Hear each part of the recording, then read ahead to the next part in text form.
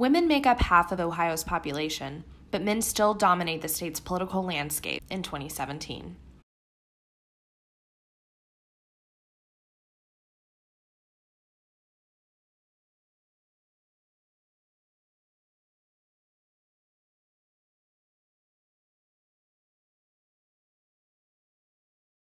It's not a problem exclusive to Ohio. Men outnumber women in elected office across the country, on the state and federal level. Meet Congresswoman Marcy Kaptur of Toledo. She entered the U.S. House of Representatives in 1983. Kaptur will become the longest serving woman in the House in March. In her 30 plus years in office, she's seen things change for women. But women's numbers in politics still do not equal men's.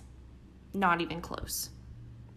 I think that many of the issues that confront working women uh, have been channeled because of women coming uh, to Congress, or, um, for example, the trafficking of women uh, around our country. That issue wouldn't have reached the level that it has in terms of buoyancy had it not been for women.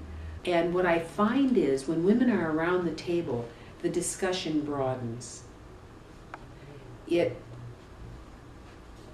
is imbued with a more comprehensive set of thoughts and also a probing deeper into what are the roots of this situation, whatever the situation might be. Many years ago, a senator from Maine, Margaret Chase Smith, said to me, as I was interviewing her about her life in Congress, uh, she said, uh, the progress is slow, but it's steady.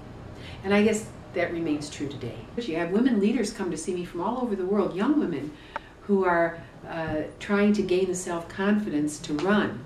And somehow I think talking by, to someone who's been through it, they gain confidence. Another change I've seen, somewhat. Um, when you speak in Congress, you speak at a microphone, and people wander around the floor and everything. And it was particularly bad for women. You weren't listened to initially. It took about 10 years before the room would fall silent if you were trying to say something. And uh, there's a greater respect uh, and feeling of equality for those women members, I think, than initially. Though I have to say, for most of the men that I worked with, even early in my career in Congress, I was treated very fairly.